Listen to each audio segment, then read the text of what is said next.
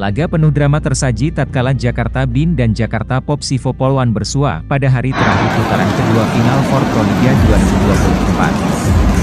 2024. Jakarta Bin berjumpa Pop Sivo Polwan pada laga terakhir final For Pro Liga 2024 kategori putri di Gor Jatidiri, Semarang, Minggu, 14 Juli 2024. Persaingan ketat hingga 5 set tersaji sebelum akhirnya Popsivo Polwan mengalahkan Jakarta Bin dengan skor 3-2, 25, 20, 17, 25, 25, 27, 25, 16, 20, 18. Jakarta Bin membuka angka lebih dulu pada set pertama melalui monster block dari Karabajema yang sukses membendung serangan Irina Voronkova.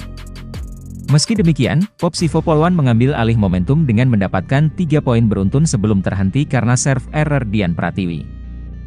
Tim besutan Gerardo Daglio tersebut mendapatkan peluang lagi setelah Regina Fitrian Utami menorehkan servis AC secara back-to-back. Melalui skema yang diawali dari servis Megawati Hangestri Pertiwi, Jakarta Bin kembali unggul satu angka atas Popsivo Polwan melakukan technical timeout. Menghasilkan dua poin beruntun, skema servis dari Megawati akhirnya gagal setelah pukulannya tidak akurat dengan bola meluncur keluar lapangan. Meski demikian, pemain berjuluk Megatron tersebut memberikan kontribusi satu angka melalui spike kerasnya yang melewati Voronkova. Tak berselang lama, Jakarta Bin kembali kehilangan satu angka menyusul kesalahpahaman dari Megawati dan Arneta untuk mengembalikan serangan. Popsivo Polwan sempat menjauh saat skema servis dari Irina Voronkova menghasilkan satu AC dan dua angka beruntun. Error masih mewarnai para pemain Jakarta Bin termasuk Kania Carcaces yang membuat Popsivo Polwan mendekati set point. Sempat tertahan satu kali oleh blok dari Bajema, Popsivo Polwan merebut set pertama melalui smash keras dari Arselanwari Purnama. Popsivo Polwan kembali dominan saat mengawali set kedua di mana mereka mampu meraih dua angka beruntun untuk unggul atas tim besutan Danai Sriwacara Mamakul itu. Tak ingin diam, Jakarta Bin mulai bergerak dan menghasilkan empat poin beruntun saat Megawati melancarkan spike kerasnya. Jakarta Bin semakin menjauh setelah mereka mampu melakukan blocking sempurna terhadap serangan mematikan dua pemain Popsivo Polwan Voronkova dan Madison Kingdon. Placing serangan yang akurat dari Megawati menghadirkan set point bagi Jakarta Bin sebelum dituntaskan dengan sempurna oleh Carcaces untuk menutup set kedua. Pertandingan pada set ketiga semakin panas di mana kedua tim tersebut saling bergantian mencetak angka untuk menyamakan kedudukan. Spike keras dari Megawati menjadi pembeda untuk membawa Jakarta Bin mulai berjarak dengan Popsivo Polwan. Upaya Popsivo Polwan melalui Voronkova dan Madison membuat kedudukan imbang lagi akan tetapi, Karabajema menghancurkan momentum tersebut dengan jarak dua angka. Peran Megawati kembali terlihat saat dia menghasilkan block point untuk memperpanjang perjuangan Bin dalam memberikan perlawanan kepada Popsivo. Melalui serangannya, Megawati membuat Jakarta Bin berbalik mendapatkan set point pertama mereka usai mampu mengejar Popsivo Polwan.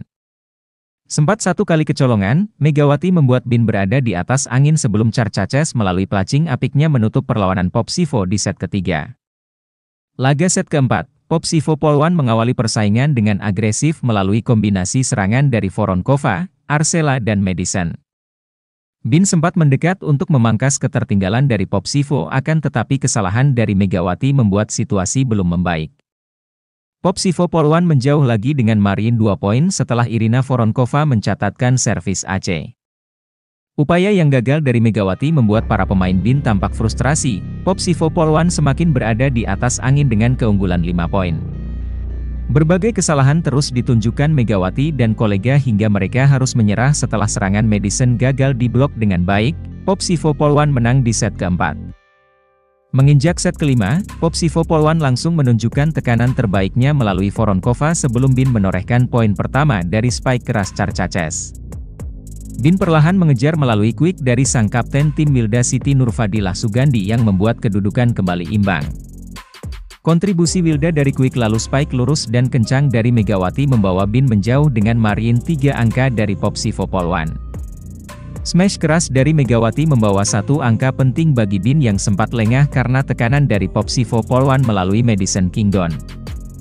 Penampilan Megawati benar-benar menunjukkan grafik peningkatan melalui spike hingga blockingnya yang mampu menghadirkan satu angka demi satu angka untuk Bin.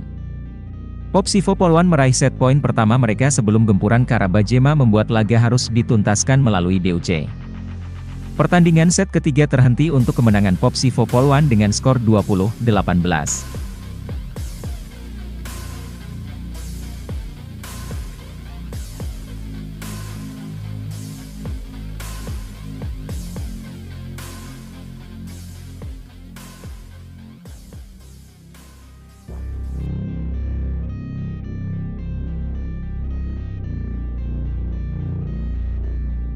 Final for Proliga 2024 putaran kedua digelar di Gor Jatidiri, Semarang mulai 11 hingga 14 Juli 2024. Enam pertandingan sementara sudah tersaji dalam dua hari final for Proliga 2024 putaran kedua. Klasemen top scorer final for Proliga 2024 berubah pada Jumat, 12 Juli 2024. Paling menjadi sorotan adalah pemain lokal voli putri yang ikut bersaing di papan top scorer final for Proliga 2024. Pemain lokal yang terbanyak mencetak poin tentu saja dari Jakarta Bin, yakni Megawati Hangestri Pertiwi. Meski kalah di laga terakhir final for Proliga 2024 putaran kedua, Megawati Hangestri Pertiwi mampu mengoleksi 77 poin. Selain itu, pebola voli putri tanah air yang ikutan alias baru meramaikan klasemen top skor final for Proliga 2024 dengan kemunculan Junaida Santi. Junaida Santi mendapatkan kesempatan unjuk gigi bersama Jakarta Pertamina Enduro sejak laga ketiga babak final for. Santi dipercaya oleh pelatih Eko Waluyo untuk menggantikan pemain asing, Ivana Vanjak, yang harus berkutat dengan cedera.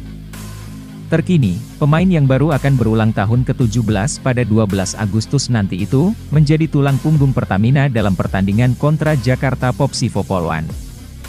Dalam pertandingan pada Jumat, 12 Juli 2024, di Gor Jatidiri, Semarang, Jawa Tengah, Santi mencetak poin terbanyak bagi Pertamina dengan catatan 18 angka.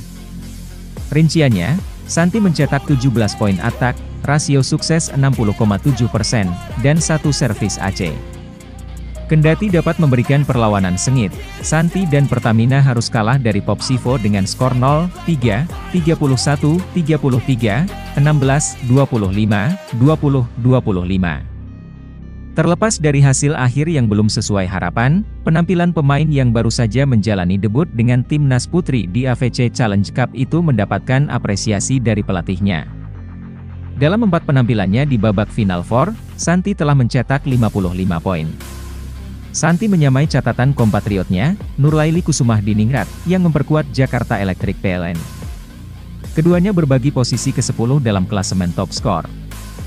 Selain Santi dan Nurlaili, dua pemain Indonesia lain mengisi posisi 10 besar yaitu Arselanwari Purnama, Popsivo, 60 poin, dan Megawati Hangestri Pertiwi, Jakarta Bin 77 poin. Klasemen top skor putri dikuasai oleh dua pemain asing dari Popsivo yaitu Madison Kingdon Richel dan Irina Voronkova, masing-masing dengan 125 dan 121 poin. Klasemen top skor final for Proliga 2024, Putri, Jumat, 12 Juli 2024. 1. Madison Kingdon Richel, Jakarta Popsivo Polwan, 125 poin. 2. Irina Voronkova, Jakarta Popsivo Polwan, 121 poin. 3. Marina Markova, Jakarta Electric PLN, 119 poin. 4. Polina Shemanova, Jakarta Pertamina Enduro, 95 poin. 5. Karabajema, Jakarta Bin, 92 poin. 6. Megawati Hangestri Pertiwi, Jakarta Bin, 77 poin. 6. Katrina Zitkova, Jakarta Electric PLN, 77 poin. 8. Kenia Carcaces, Jakarta Bin, 61 poin. 9. Arselan Waripurnama, Jakarta Popsivo Polwan, 60 poin. 10. Nurlaili Kusumah Diningrat, Jakarta Electric PLN, 55 poin. 10 Junaida Santi, Jakarta Pertamina Enduro, 55 poin.